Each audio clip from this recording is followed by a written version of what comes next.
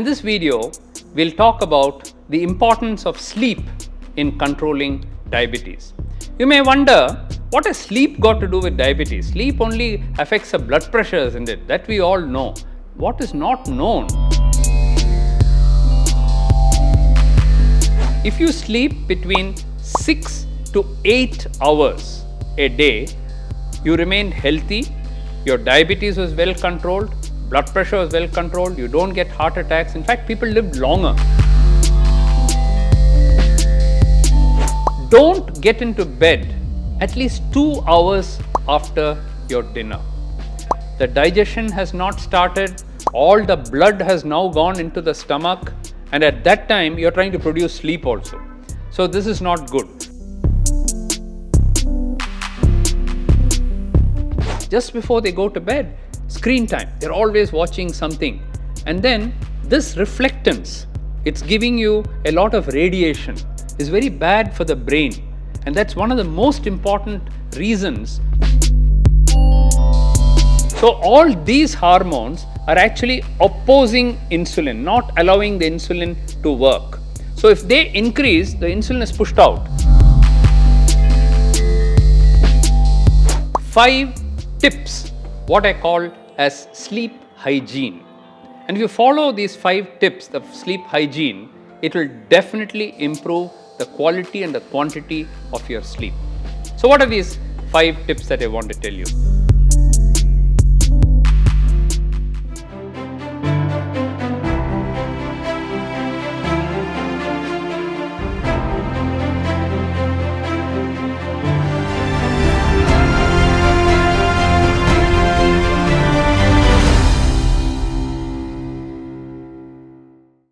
Whenever we talk about diabetes not being controlled, people normally come up with two things. Doctor, I have not followed my diet for last one month. I had a marriage or I have not been exercising at all. But in this video, I am going to talk about one of the commonest causes of diabetes not being controlled. I am Dr. V. Mohan and in this video, we will talk about the importance of sleep in controlling diabetes. You may wonder, what has sleep got to do with diabetes? Sleep only affects the blood pressure, isn't it? That we all know. What is not known is that sleep is very, very important if you want to keep your sugar under control. In fact, today it's become a separate science. It is called the science of chronobiology. We don't call it sleep, we call it as chronobiology. I've been doing a lot of research on this and some very important papers have been published in the last couple of years and I wish to tell you about that. Number one is how many hours should somebody sleep? We did the study in 21 countries in about 150,000 people and the answer was very clear. If you sleep between 6 to 8 hours a day, you remain healthy, your diabetes was well controlled, blood pressure is well controlled, you don't get heart attacks. In fact, people lived longer. Those who slept less than 6 hours, let's say 5 hours, 4 hours, 3 hours, their mortality rates went up, which means they tended to die because they're not getting enough sleep. The body is not resting. The blood pressure goes up, the sugar goes up, heart starts failing, and lots of problems come. You may say, What is this thing about 8 hours? What if I sleep 9, 10 hours? For a child, it's okay to sleep for 9, 10, or even 11 hours. But studies have shown, including our own, that if you sleep more than 8 hours, if you really need more than 8 hours sleep, probably you're having some disease which you have missed. Maybe your sugar is not under control, maybe your thyroid is uh, playing up, something is happening. Otherwise, why should an adult consistently need more than 8 hours sleep? We are talking about an average. So, between 6 to 8 hours, we found is the best. Sleeping longer than that and shorter than that, both are not very good. What about the time when you go to sleep? There are people who say, I want to watch TV, I want to watch videos, I my, my late night hours is what I love. So I'll go to bed at 2 o'clock and then I'll get up at 8 o'clock. So I'll get my 6 hours sleep. So you said 6 hours I should sleep. I'm sleeping for 6 hours. No, your chronobiology has been changed. Why did nature produce day and night? During the daytime, we are meant to be active, and at night, We are meant to rest and to have sleep. And that's why the day night cycle, not only in human beings, but also in animals, plants, everywhere, the whole of nature depends on this chronobiology. So, what did we find in our research? What we found was that people who went to bed between 10 pm and midnight, they did the best. If they started going to bed earlier also, say 9 o'clock, 8 o'clock, 7 o'clock, 6 o'clock, every day, something is wrong with them. Again, they have some disease. If at 6 o'clock, 7 o'clock you have to go to bed, no adult does that anywhere in the world. And so there's something wrong. Please go for a checkup and find out what is happening to you. After 12, 1 o'clock, 2 o'clock, 3 o'clock, 4 o'clock, when people go to bed, their sugars are never under control. And they get up in the night often or they are disturbed. Most often they have some tension or some mental stress or worry or something which is disturbing them and that prevents them from sleeping and their diabetes gets out of control. So, the message that I want to tell you today is that sleep is not given the importance that it should be given. If you have diabetes, give most importance to your sleep. See that you get between 6 to 8 hours of sleep, get into bed between 10 to 12 and make that a routine because if you do that, your chronobiology sets in such a way.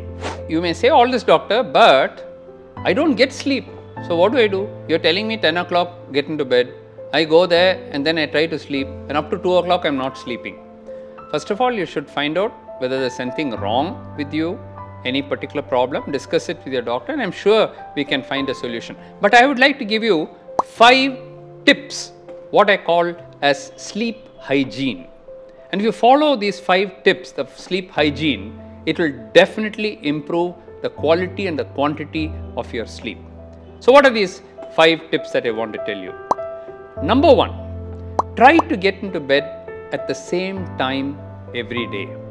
Now one day if you get into bed at 9 o'clock, and next day at 12 o'clock and third day at 1 a.m., your body will be wondering fourth day what, what time you're going to sleep.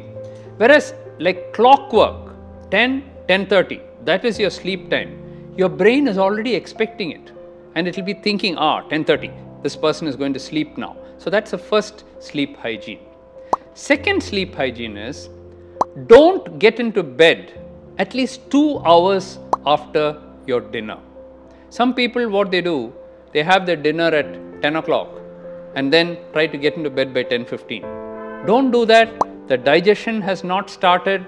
All the blood has now gone into the stomach and at that time you are trying to produce sleep also. So this is not good. So have an early dinner. Most Indians what they do, they eat after 9.30, 10, 10.30, 11 try to have your dinner by 7.30, 8 or 8.30. This will help to keep your sugar also under control.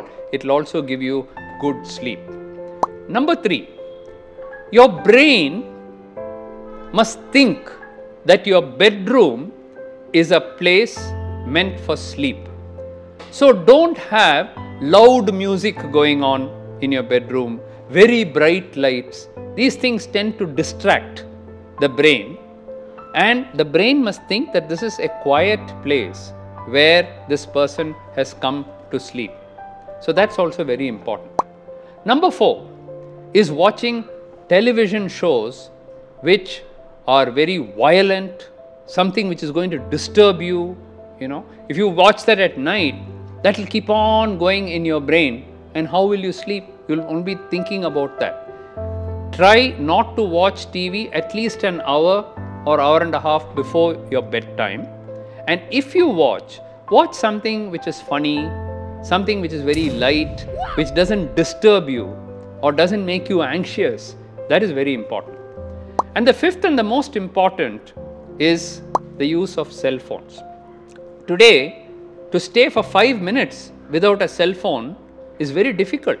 And that is why new terms have come up like detox, digital detox. These are not, they are all unheard of, say five years ago. Today everybody is talking about that. The addiction is so strong, just before they go to bed, screen time, they're always watching something. And then this reflectance, it's giving you a lot of radiation, is very bad for the brain. And that's one of the most important reasons why people don't sleep. So remember these five tips for sleep hygiene which I told you about and definitely both the quality and the quantity of your sleep will improve. For people with diabetes, it will be a major step forward to get your sugars under good control. Now, how does this relate to actually sugar going up? When you start sleeping irregularly or not sleeping enough, changes occur because from the brain itself, the hypothalamus, there are a number of signals going down and all your hormones go completely out of control. Most of the hormones in the body except insulin increase the sugar. So you have adrenaline, noradrenaline also called as epinephrine and norepinephrine, you have cortisol, you have growth hormone. All these are hormones which tend to increase the sugar. There is only one hormone which decreases the sugar and that is insulin. So all these hormones are actually opposing insulin, not allowing the insulin to work. So if they increase, the insulin is pushed out and the insulin production also goes down the way it is secreted is altered and its action is also impaired. And that is why sugar levels start going up. This happens when you have stress also.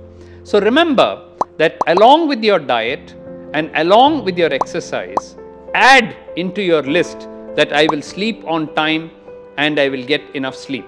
And you will find that your sugars come down very easily in those who have pre-diabetes, you will even be able to reverse the diabetes. So, in the diabetes reversal program about which I will be talking in subsequent uh, videos in this channel, we will be extensively talking about how lifestyle plays a very important role not only in controlling your diabetes, but also in preventing your diabetes and also in reversal of your diabetes. So stay tuned to this channel and watch for other videos where we will be extensively talking about other tips as to how to keep your diabetes under control, what are the various lifestyle factors which affect diabetes, how in your workplace you can look after your diabetes if you just pay a little bit of attention. So until I see you in one of my subsequent videos in this channel, take care and stay safe. Goodbye.